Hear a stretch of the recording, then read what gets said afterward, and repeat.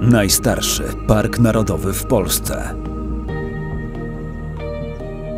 Najstarszy klasztor w Polsce. Najstarszy dąb w Polsce. Najstarszy uniwersytet w Polsce.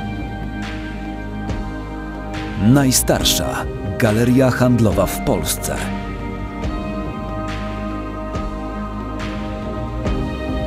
Najstarszy klub sportowy w Polsce.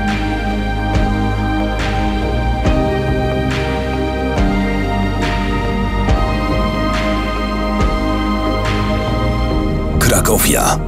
Powód do dumy.